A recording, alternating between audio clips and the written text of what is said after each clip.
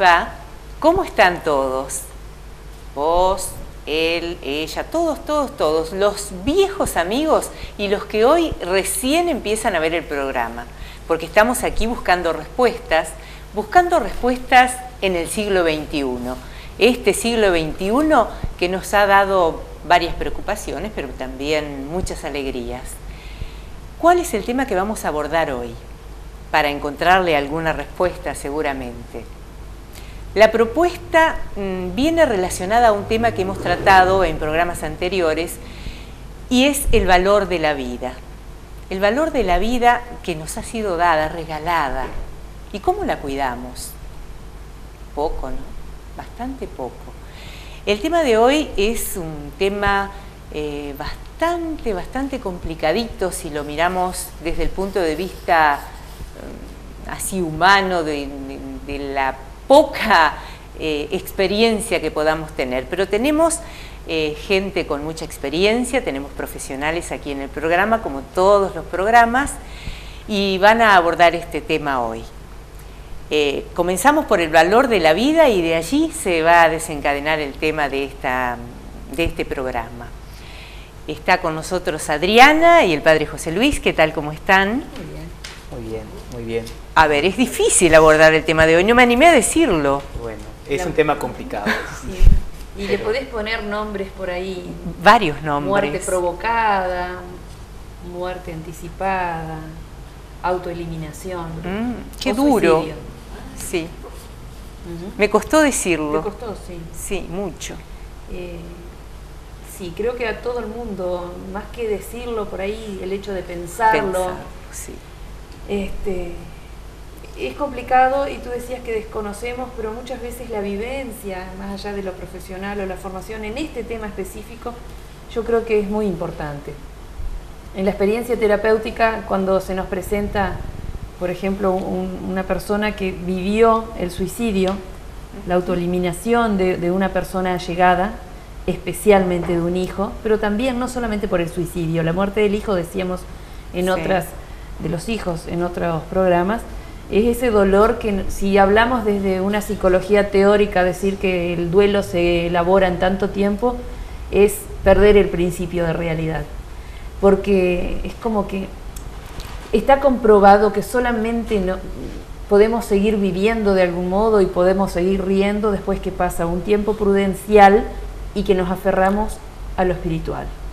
Si no tenemos una convicción de algo de, de, lo espiritual, a una fe, una idea de que somos más que un cuerpo, claro. eh, es casi imposible seguir viviendo. Pero cuando el caso es de una muerte provocada, tiene toda una connotación diferente, muy fuerte o más fuerte. Y bueno, es todo un tema. En, en este caso habría que ir viendo en determinadas etapas evolutivas, tiene características generales, ¿no? distintas. Eh, no es lo mismo, decíamos, por ejemplo, el suicidio de un adolescente, donde por ahí no necesariamente tiene que haber una patología de fondo, una depresión, sino que son esas reacciones por ahí explosivas. Este, algunos son muy... Este, hay como un proceso de caminar hacia esa muerte anticipada, decíamos, por ejemplo, cuando no se cuidan, cuando andan a grandes velocidades, Exacto. cuando conductas de riesgo. Ahora, después hay otras etapas evolutivas y tenemos que considerar, porque a veces no se, no se, no se tiene en cuenta, que en niños entre 5, 6, 7 años hay intentos de autoeliminación, algunos fallidos y otros no. Tremendo. Tremendo, sí. Hay una experiencia en Salto, por ejemplo, de una pequeñita que estaba en un, en un hogar, que, este, que terminó después en un hogar para, para su atención, que con 5, 5 años y pocos meses este, había tenido ya un par de, de, de intentos, ¿no? Este, las formas varían. En este caso era, era como una forma también de, de llamar la atención. ¿puede no, ser? no, no. En este eh, inhalaba el combustible en la nafta de la moto del padre hasta hasta caer este, ya desvanecida, ¿no? Y el tema de llamar la atención que dijiste tú es importante tenerlo en cuenta porque a veces los médicos, que son los que tienen primer, el primer encuentro con el paciente que intentó suicidarse y no, no, se murió, suelen eh, quitarle importancia, valor o seriedad, entonces dice solo un llamado de atención. Ojo, porque los llamados de atención son esos. Algo me está pasando que necesito que me atiendan y me estoy agrediendo de una manera u otra. Eh, lo que dice la, Organización Mundial de la Salud es que ante un intento de suicidio, así sea con pastillas o, leve llamado de atención, como a veces lo cataloga la medicina, debe permanecer internado mínimo de 72 horas y debe tener un seguimiento después psiquiátrico y psicológico. Y lo otro que también hay que, características diferentes entre hombres y mujeres. Una cuestión muy... Eh, la mujer somos más por ahí esto de, la explosión, de lo histriónico. Eh, de tres intentos de mujeres, eh, es tres a uno, vamos a decir. Tres muertes de suicidio de hombres equivaldría a, un, a uno de, mujer. de mujer. Sin embargo, intentos hay más en mujeres. A ver si me explico. Las mujeres intentan más, pero son tres a uno las muertes de los varones.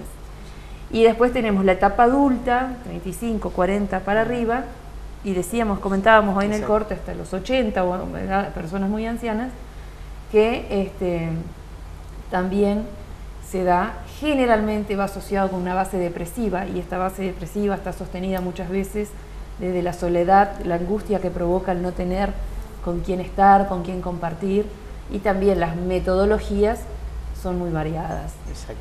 Sí, yo este, desde el punto de vista así un poco más que la experiencia, y los factores, a mí me ha tocado más acompañar el después, ¿no? De los, de este caso, así ejemplo, de algunos este, suicidios. Eh, claro, el tema es, si no hay algo que, esté de base, algún valor espiritual incluso, claro, uno puede aconsejar, primero yo siempre aconsejo, ¿no?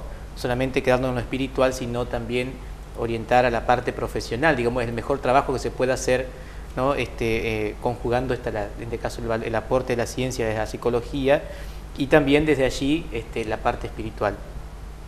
Pero el tema es, claro, cuando me ha tocado en el caso de algunos papás que han tenido la experiencia de un hijo que se le ha este, suicidado, o sea, suicidio me refiero, hasta podemos tomarlo ampliamente, ¿no? Es decir, hasta eh, chicos que de, golpe, por imprudencia, se, se, quitaron la vida, ¿no? Sea, una cosa así. Y entonces el tema es todo el sentimiento de culpa que le crea a los padres. Sí, eh, tal vez lo que nunca se plantearon antes ahora brota, ¿no? Como un manantial, ¿no? Y claro, si no hay una base, eh, ya ahora echarse culpa, echarse culpa no es ninguna solución. Eh, el tema es que uno tiene que, en este sentido, seguir viviendo, seguir descubrir, o sea, descubrir qué es lo que se puede mejorar, ¿no? Desde la vida para porque muchas veces quedan otros hijos, quedan otros, otro entorno. Bueno, un hijo es un hijo, es, decir, no se puede reemplazar por otro, pero siguen los otros. Entonces uno, por ahí cuando no se hace ese, ese avanzar, y bueno, saber descubrir para que este, estar atento a, lo que, a los que siguen, a los que vienen, porque esas son cosas, son conductas, son actitudes. A veces, este, eh, eh, como decíamos en otros programas, ¿no? las, eh, las cosas que dejamos pasar de largo en los chicos, con este, conducta de los chicos, o estas llamadas de atención que vos decías, Adriana, y por ahí, por qué sé yo, porque no tengo tiempo, por lo que sea, voy descuidando, o lo veo como una, como una chiquilinada, eh, este, y entonces eso va, va creando, entonces, bueno, son las conductas que uno puede después cambiar. Pero el tema de los sentimientos de culpa, y a veces es cierto, yo tengo que decir que eh, no se borra mágicamente, indudablemente Dios, la, la misericordia, el poder de Dios, este, cubre todo y, igualmente eh, saca hacia adelante porque Dios nos levanta, ¿no?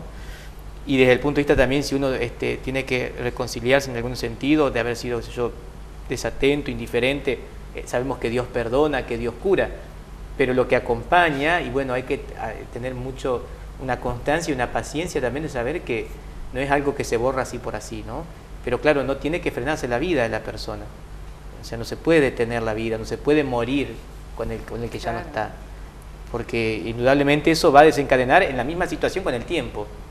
¿no? Es decir, una persona que, que no, no, hace este proceso de salida, o al menos busca ese proceso de salida, eh, puede caer en una depresión tranquilamente. Bueno, Adriana nos puede orientar cómo, cómo se van dando esos procesos. Y eso después, eh, a la larga, o te crea enfermedades que te van llevando indudablemente a la muerte o en alguna también situación de decisión trágica, ¿no? A mí me, llama la atención este, en las, eh, los, las personas que van a veces entre los 35 y, lo, como vos decías, Adriana, los, los varones, el hombre es decide y lo hace, ¿no? Claro. Este, yo creo que eso es, este, yo digo es, notable mm. eh, no, no, y a veces yo si uno tuviera yo tuviera que mirar los casos que conozco la familia queda como asombrada y porque no no puede entender el porqué de esa decisión no porque a veces no ha habido seguramente siempre hay una causa no claro pero nadie lo espera creo yo. claro digamos pero, eh, pero una característica me parece de, una característica del hombre que toma la decisión y tal vez hay todo un, un enrollo interior, pero no lo, no sé, no lo manifiesta, no lo, expresa, o tal vez sí lo expresa y uno no entiende, no sabe eh, captar ¿no? Este, el, eh, eh, esos signos que se dan en nosotros los, los varones. ¿no? Este, yo digo, a mí me ha tocado un caso nomás, pero bueno, sí, el hombre no, no salió, pero este, de que la, la, esposa me decía, ¿no? Que por ahí ella lo veía, ¿no? Como, como muy meditabundo, que era muy este. Pero a ella le parecía bueno. Claro, aparte después que pasa vos empezás a atar los cabos. claro, y, ahí vienen los sentimientos, decía, ¿cómo no me di cuenta? ¿Cómo no esto? ¿Cómo no lo otro? Y, yo lo podría ayudar. Y claro, pero creo que el proceso es dañino cuando no se hace buscando más bien hacia, hacia arriba, ¿no? Porque si esto te va a terminar aplastando, este, lamentablemente la, la, persona que lo vive va a terminar en una situación de, depresión terrible. ¿no?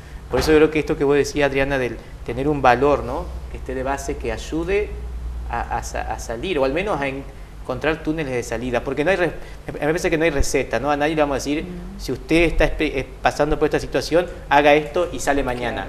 No, porque es un proceso humano, no, no, no, eh, es, o sea, no hay una, una, una respuesta así, sabemos que Dios este, eh, y la gracia divina realmente son un, elemento fundamental, sobre todo para entender el mundo del dolor, de la muerte, sobre todo por la esperanza que viene después de la muerte para nosotros, pero no hay recetas, no hay recetas y hay que eh, entrar en el tiempo de la persona que lo está viviendo. Pero bueno, creo que lo de hoy busca poder detectar algunos signos, ¿no?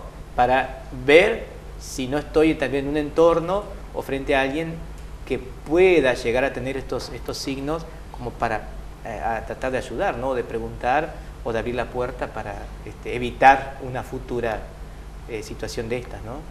Seguro.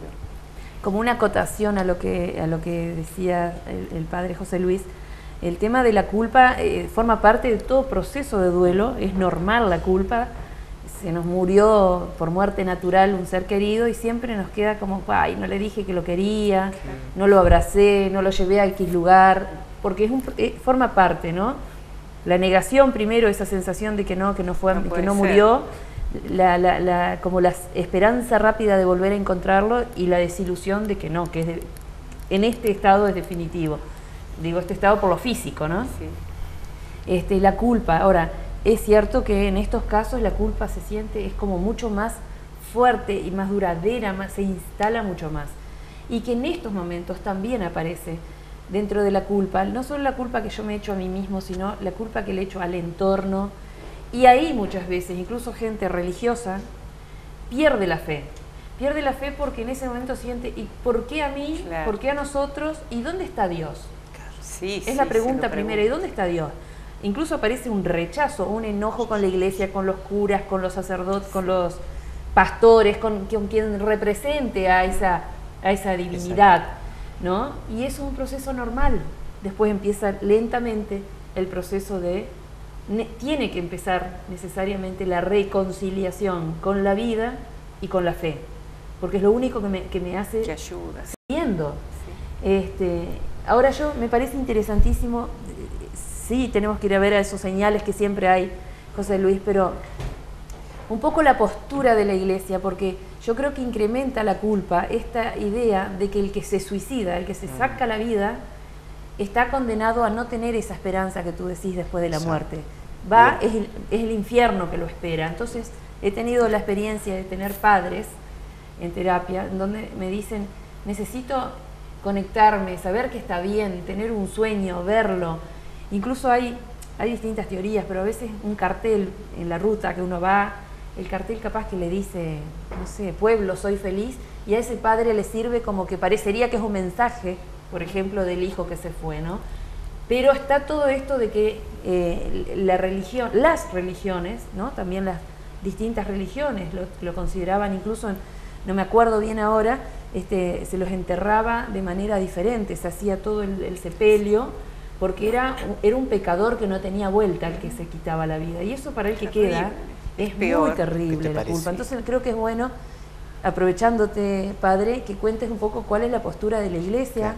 Gracias. frente a la muerte de- Sí. de- por suicidio. Sí, yo creo que, mira, en ese sentido hablo, eh, acá claro, sí, hablo específicamente de la iglesia eh, católica, digamos, ¿no? Porque no quisiera eh, este, meterme en el terreno de, de- Claro. de otras No, no, y religiones. hay tantas. Indudable- indudablemente la vida es un don de Dios y Dios es el Señor de la vida y de la muerte. Es decir, Él, él nos pone, o sea, es Él quien este, eh, tiene este, en ese sentido el dominio sobre nuestra vida, ¿no? Incluso hay tantísimos pasajes bíblicos, ¿no? Que hablan de que uno no puede agregar ni siquiera un día, ¿no? Un segundo a la vida, ¿no? Es decir, o sea, estamos, en ese sentido Dios ha pensado un proyecto maravilloso. O sea, por lo tanto, desde ahí yo decía, bueno, yo no soy dueño de quitarme la vida ni de quitársela a otro, indudable, es un, es un valor divino, es un valor inviolable la vida humana.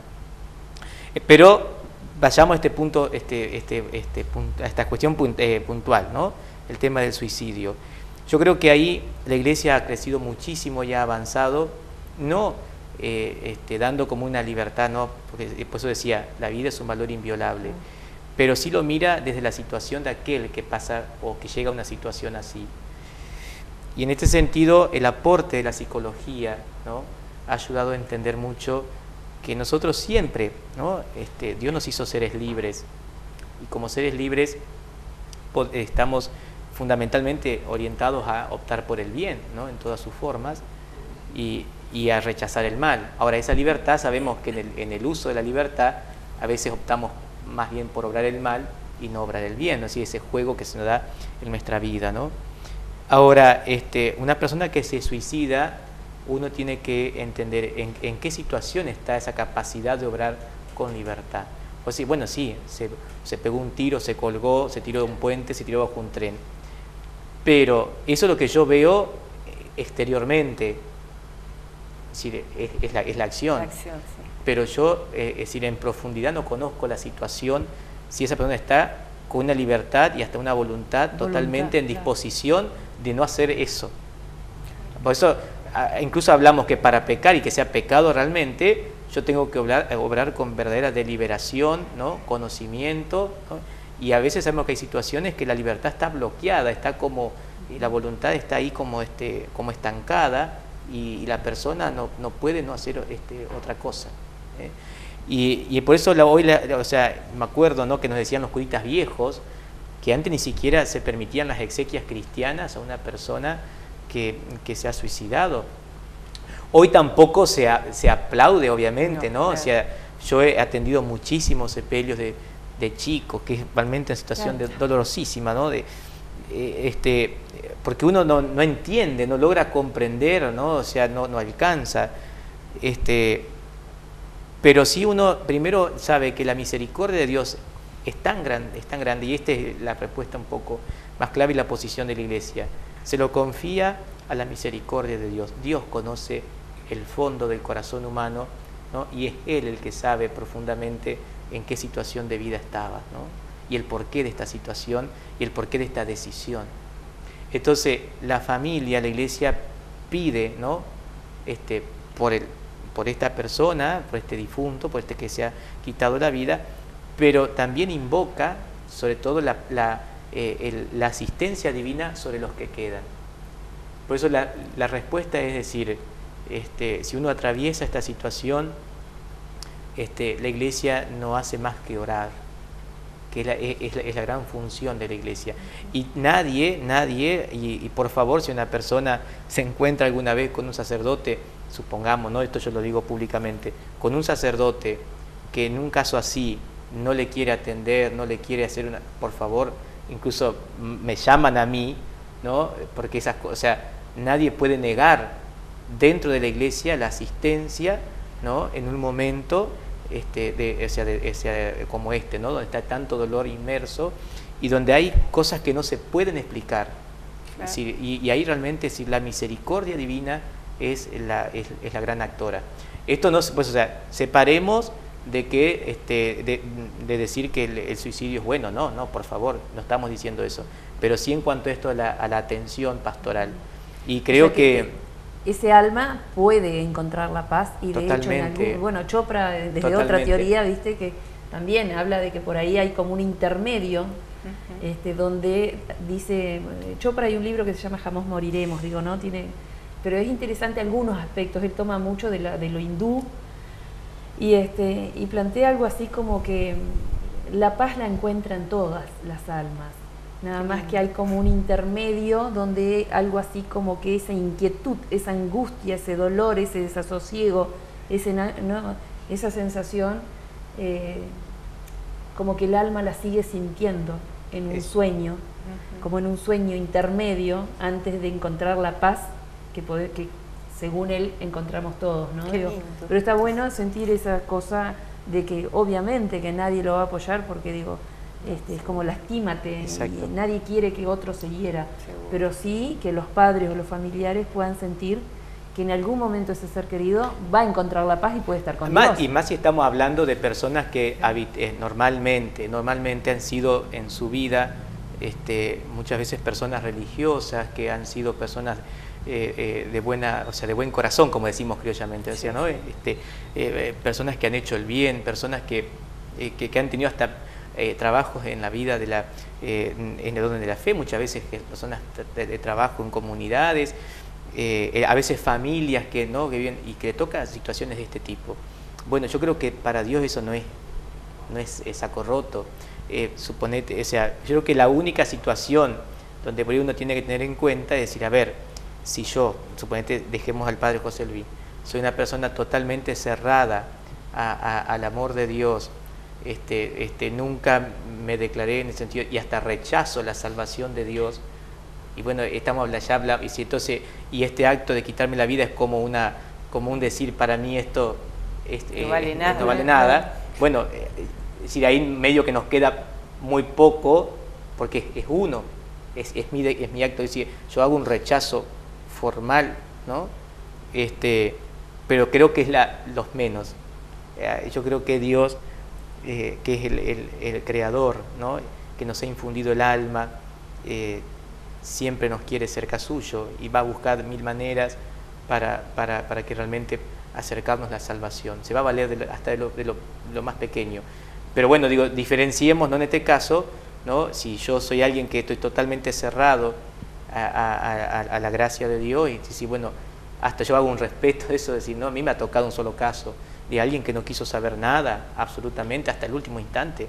La familia me, invitó este, para que lo vaya a ver, no, me, terminaba echando. Él estaba totalmente, no quería saber nada ni de Dios, nada. y bueno, yo digo, yo oraré por él, pero él también está haciendo un acto de libertad en ese sentido, ¿no? Si hay un rechazo formal a la salvación de Dios. Bueno, ahí nosotros no sabemos decir, eh, ahí eh, no puedo decir, bueno, eh, Dios va a hacer esto, pero me manejo con lo que veo, ¿no? Y en este sentido, digo, este, viendo los suicidios, por ejemplo, pensemos en un doctor, René Favaloro, con toda su obra, digamos decir, eh, obviamente, se hubiese podido evitar esa, esa decisión que él tomó, y ahí después lo hablamos capaz que más cerca del final del programa, ¿no? En este sentido, pero Dios se va a quedar solamente con esa decisión. O Dios va a ver las millones y millones, por así exagerar, de vidas que Él hasta potencialmente hoy sigue, sigue salvando. Entonces, digo, ahí entra mucho el tema esto, ¿no? Si hasta dónde yo puedo y hasta dónde no, ¿por qué tomé este? Bueno, ahí está el misterio de la libertad, ¿no? la voluntad. Eh, y bueno, solo Dios conoce el fondo de la cuestión. ¿Qué les parece si nos quedamos con esta imagen tan linda y nos vamos a un corte para retomar en un ratito nada más?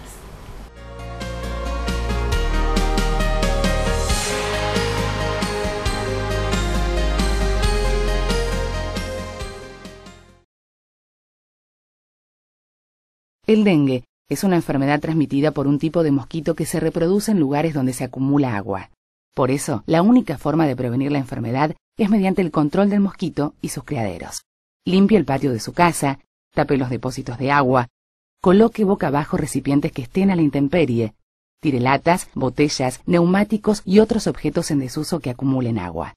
Prevenir es fácil cuando sabemos cómo hacerlo. Incorporemos hábitos sanitarios que nos ayuden a combatir el dengue. No le demos lugar al dengue.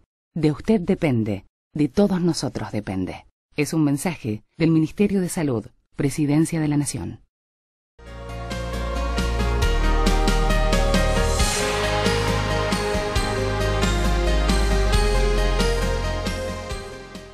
Y aquí estamos otra vez, eh, tratando el tema de suicidio, eh, que ahora me animé a decirlo, como habrán podido ver.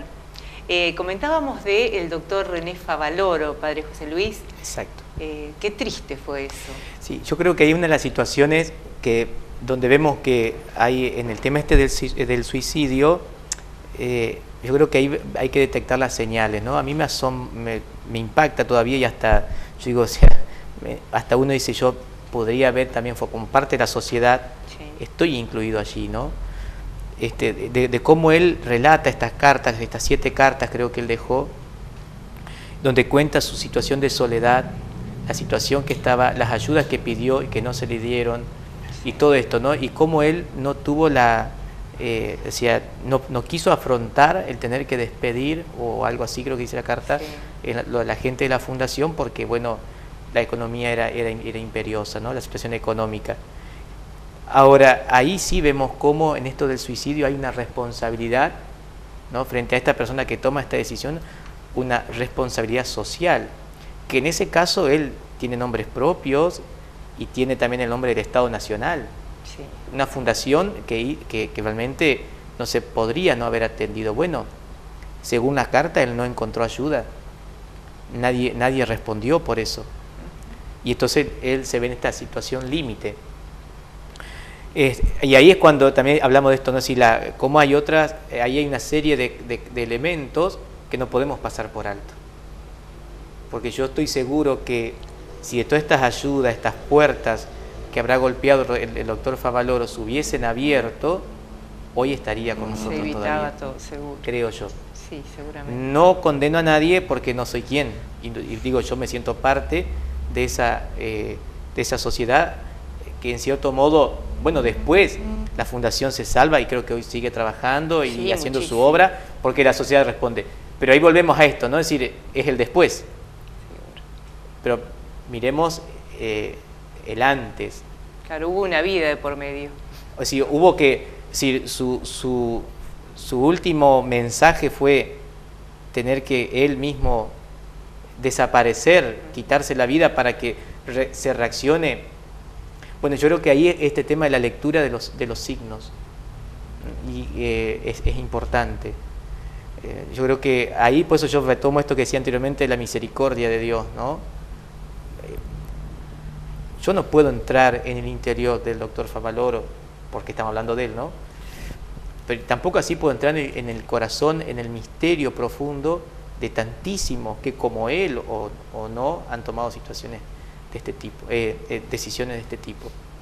Yo sé que Dios es grande y que indudablemente Dios me ha dado la vida para que la cuide, la lleve a su plenitud con su ayuda pero también soy consciente de tantísimos factores que a veces eh, se nos escapan, que no prestamos atención, que no somos humanos eh, en, la, relación con las otras personas, que vemos que están pasando situaciones mm, interiores complicadas y que son como alarmantes de decisiones de este tipo.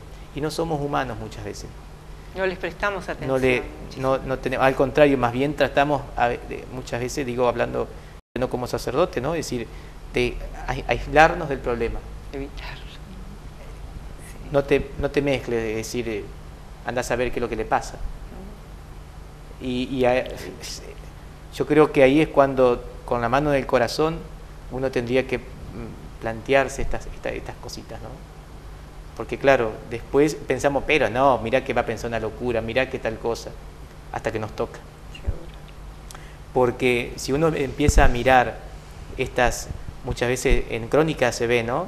Eh, las tragedias de los famosos, que lo repiten dos por tres. Es cada caso, pero nadie se dio cuenta de este tipo, de esta mujer, que hoy la pasamos como una tragedia, lo que, la decisión que tomó, pero nadie se dio cuenta. Es que Nadie- nadie pudo hacer yo nada. creo que hay, hay Es eh, digo, o sea, digo, no, cuidado con eso, o sea, no echemos culpas, no, no, no estamos haciendo eso, pero digo, es, es una, una cuestión de humanidad que a veces nosotros deslizamos, ¿no? Deslizamos. Yo eh, me veía, a mí me asombró en su momento la muerte de un gran, de un conductor de televisión, Juan Castro, no sé si alguno lo recuerda. Eh, otro día lo pasaron, ¿no? Y, y uno va haciendo esas lecturas. Yo digo, realmente, en todo lo que él decía era un clamor de ayuda. Es decir, eh, cómo era su, cómo iba llevando su. Porque uno, uno lo escucha y si uno presta intensamente, ese es otro tema, prestar intensamente atención. No estamos, más bien nos estamos deshabituando a prestar intensa atención, ¿no? A cuando alguien nos habla, cuando alguien nos va contando su vida. Y ahí es cuando uno va haciendo la lectura. Eh, y entonces yo creo que también nuestras decisiones, un tipo así, de golpe va a su departamento y la sorpresa es que se tiró, se tiró un primer piso. ¿No? Es decir, bueno, planteo esto porque creo que esto del doctor Favaloro es un caso que creo que como sociedad argentina eh, tenemos una, eh, algo que reparar, en ciertos, por así decir, algo que reparar. Ahora, este, totalmente de acuerdo, pero hay algo que, que también que es como bastante se- popular, ¿no? Esto de eh, el que avisa no se mata. Ah, sí, es Mm. cierto. El que avisa no se mata, hay que desterrarlo, porque toda persona que llega a la autoeliminación o al suicidio dejó señales antes.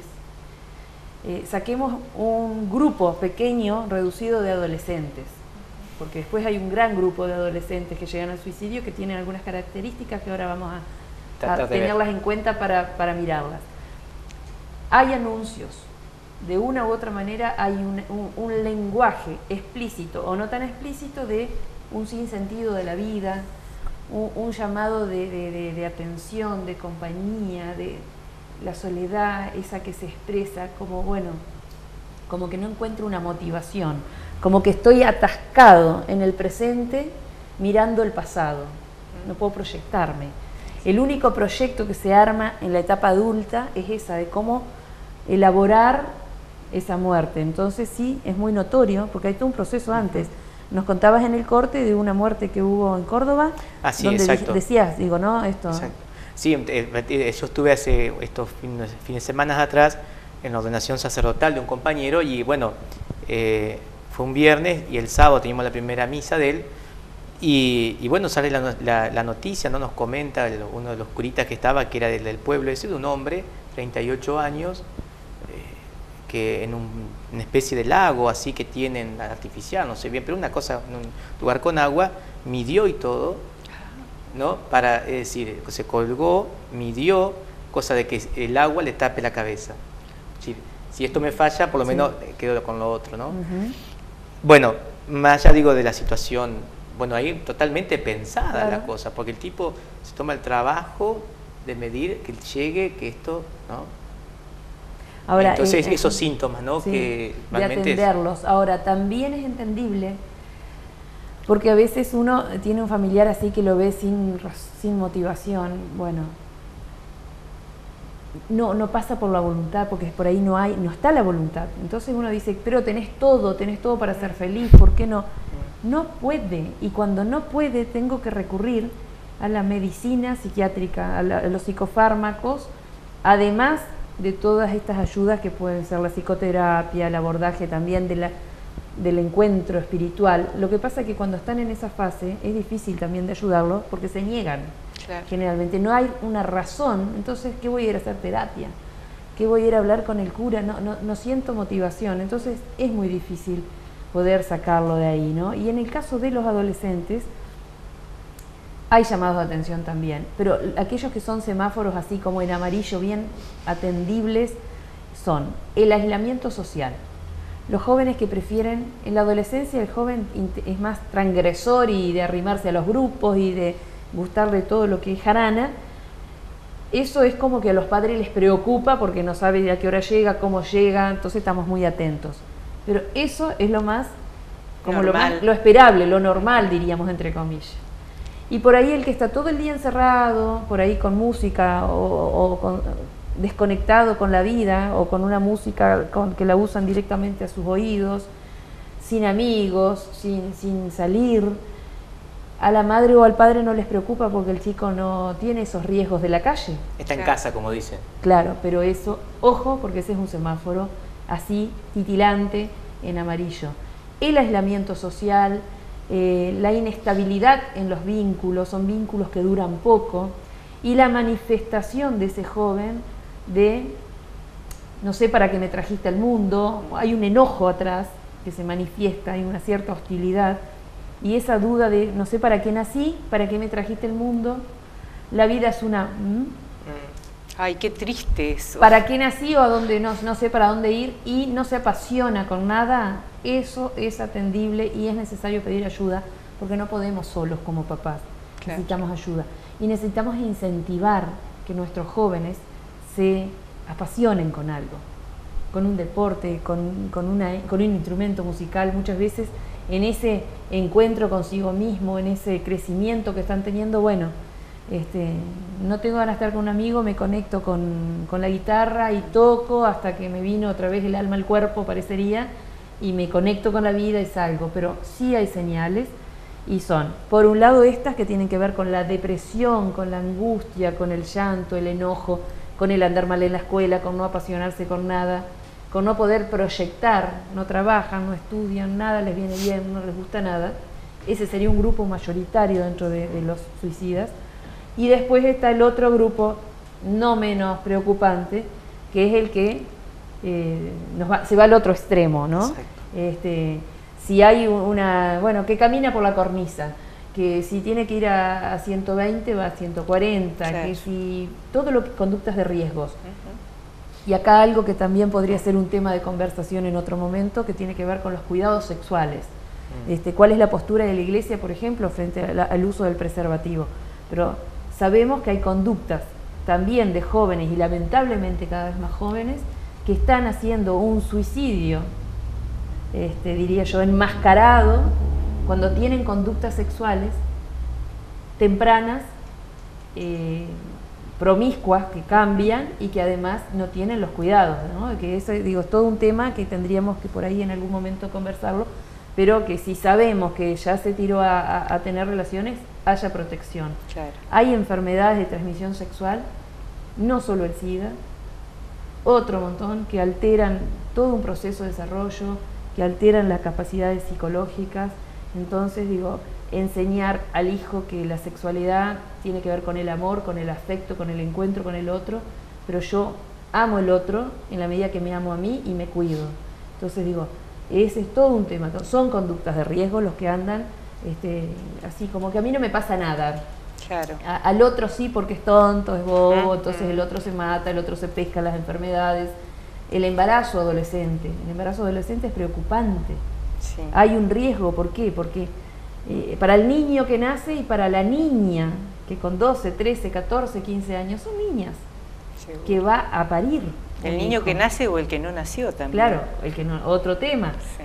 Y para esa madre que es madre, es hija, es hermana, está Ah, creciendo, riesgos biológicos, porque el cuerpito, por más que tenga una chiquito. menstruación, todavía no está maduro. Múltiples Psicológicos. riesgos. Y muchos de esos son, no los vemos como suicidios, pero son formas de suicidio.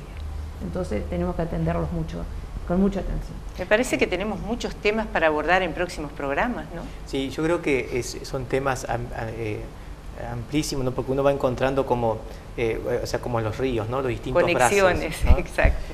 Eh, y claro, digamos, por ahí algunas nos parecen más lejanas, pero bueno, son conductas, son conductas, ¿no? Y este, yo creo que hay, hay que tratar de atender en la medida de la capacidad de cada que uno pueda aportar un poco de luz, este, eh, hay que iluminar, ¿no? porque la luz está hecha para que dé luz, ¿no? como dice Jesús, ¿no? No, no se nos ha dado la luz para ponerla bajo un cajón. Y yo creo que eh, uno tiene que tener todos los elementos para que cuando decide ya sabe que decide con todo, ¿no? porque a veces está la otra, a mí nadie me dijo. También. Y bueno, yo creo que uno tiene que decir, ¿no? Y, bueno, después la, persona tiene los elementos para poder decidir bien, ¿no? Pero en este tema que, que estamos tratando, yo creo que prestar atención es propio del amor, ¿no? Estar atento. El- eh, eh, yo creo que es en este sentido, y como decimos más una vez, estas no son cosas que se aprenden en los libros. Y tampoco uno puede pretender aprenderlo todo del otro. Entonces, como a mí no me dieron amor, yo soy así. ¿Qué querés que haga? Soy así. Me criaron así. No, discúlpame, ni sos así, ni tenés por qué ser así, ni tampoco tiene que ver que te hayan criado así. Se puede aprender a ser mejor. No, es que tenés, tenés, y cada, cada ser humano, este, y ahí volvemos, incluso queremos darle este origen divino, ¿no? Dios nos ha creado, nos ha creado con todas las potencialidades para amar.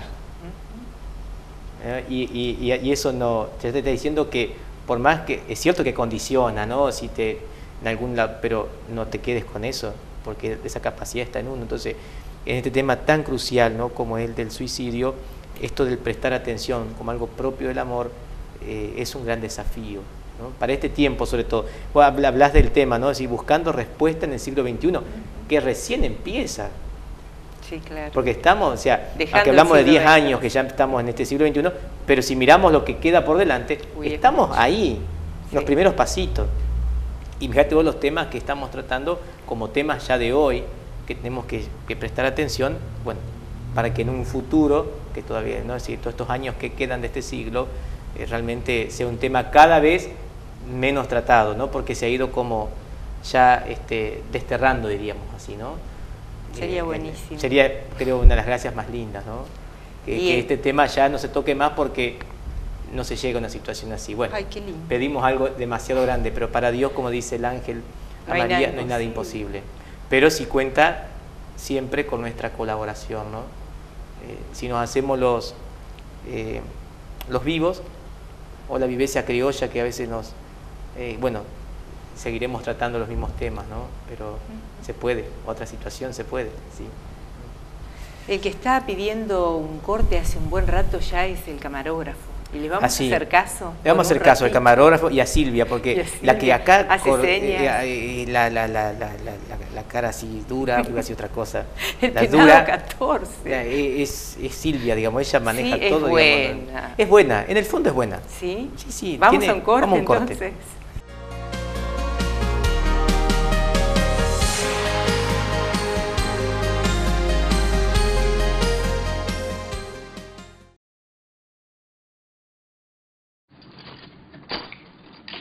¿Sos idiota o te haces?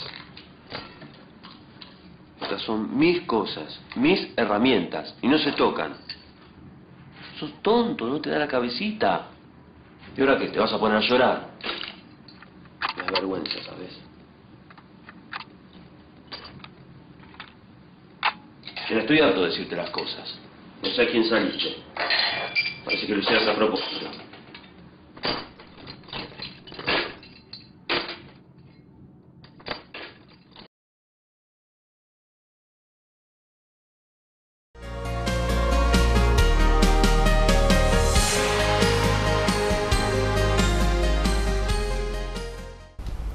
Eh, estamos ya llegando al final del programa de hoy, así que nos estamos despidiendo.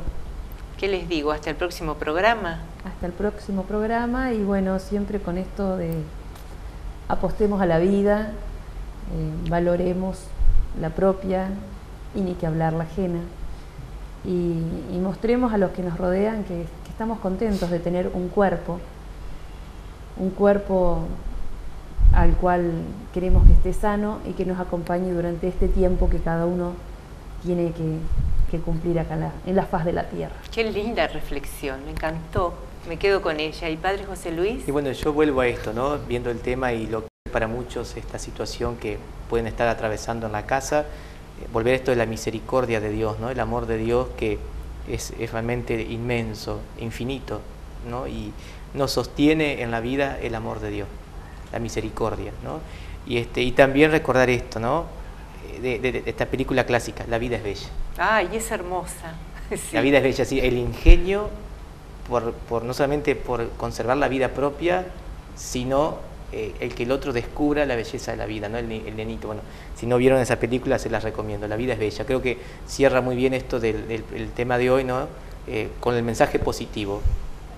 Amemos la vida y siempre hay otras soluciones, siempre hay una salida que no tiene que ser precisamente la del tema que hemos, que hemos tocado. ¿no?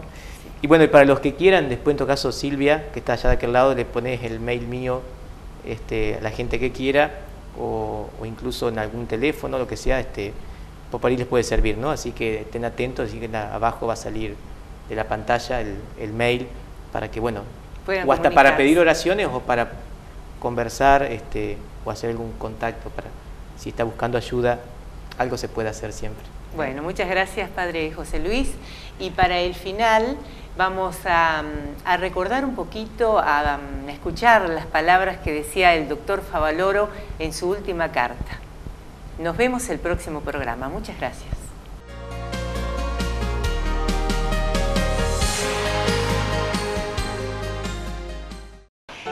Diez reglas de oro para los jóvenes. Primera, honestidad. Segunda, culto a la verdad. Tercera, defensa de la libertad. Cuarta, lucha por la democracia. Quinta, solidaridad. Sexta, responsabilidad y compromiso en todos los frentes. Séptima, lucha por la dignidad del hombre. Octava, pretender una vida mejor en la tierra. 9.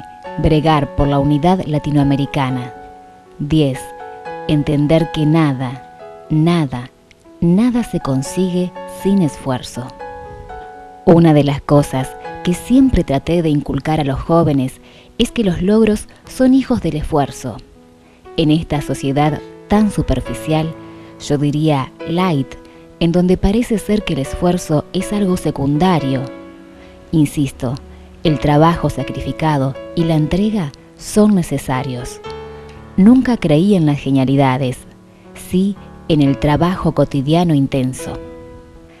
Ha llegado el momento, insisto, de detener el girar constante de nuestro planeta, examinarlo, examinarnos, hacer el diagnóstico correcto y buscar todos juntos el tratamiento adecuado. Solo lo lograremos si entendemos que estamos convocados por un compromiso ineludible. Debemos luchar por una sociedad más justa y equitativa, sin prejuicios de ninguna índole.